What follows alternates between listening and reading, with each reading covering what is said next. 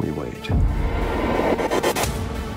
We'll either be hailed or crucified based on our treatment of this breakthrough. It's happening? This is exactly what he's been waiting for. Run! Don't you ever feel like you're seeing something that you're not supposed to? Wake up. Julia, Jeff in Las Vegas. Good afternoon. Hey. Hello. Man, I am so creeped out from this movie. I mean, yep. it is, you know, I've seen it all, you know, and Mhm. I'm just, I mean, I was like pausing it because I was like freaking Yeah. out. It's just, you know, your character, Sarah, she's trouble at home, sleeping in the park, but she joins a sleep study for some quick cash, but things go wrong, don't they? Yes. Yes. Very wrong. And it's hard to talk about this movie without giving any spoilers away. I don't want to say what goes wrong and, you know, because Yeah. It, the movie really builds on that. But what can you say about this movie? um, it's uh, it's a psychological thriller. Um, it it kind of uh, it asks questions about um, about you know uh, Nightmares.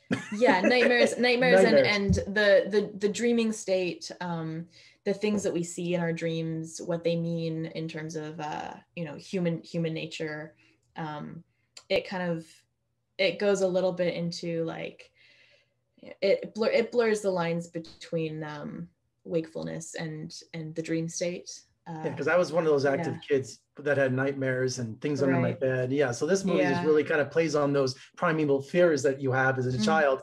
Uh, I love the headset you wear too. It looks like a brain Oh, outside your skull.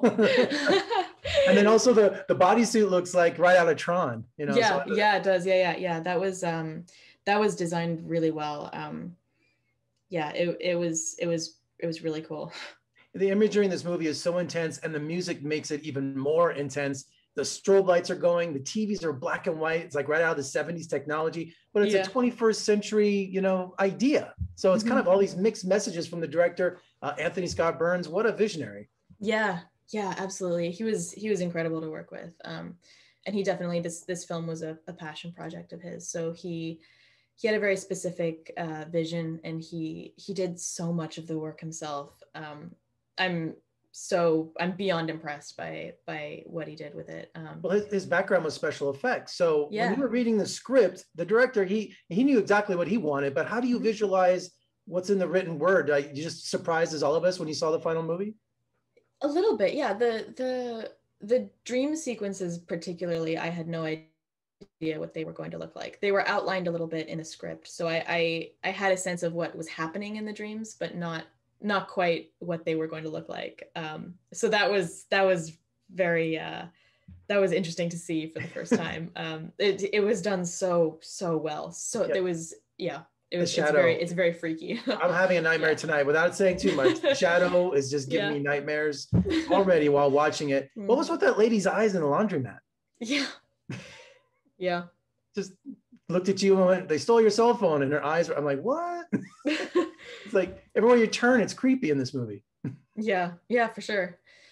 Yeah. Can you can you remember your worst nightmare? You know, I had nightmares about zombies and killer whales. That's Oh yeah. I, that's how stupid I know. But can you recall what you know really scared you one time, or do you have a fear or anything? I'm not sure. Um, I, I definitely have fears. Uh, I don't I don't know that I, I don't tend to remember my dreams very often, um, which might be a good thing in terms of nightmares. But um, yeah, I, I don't tend to remember them very often. So I, I don't know if I can recall a specific nightmare. Yeah, because sometimes you wake up and go, "What was that all about?" You Yeah. know? and then you try to tell someone a few minutes later, and you can't remember it. So, Yeah, exactly.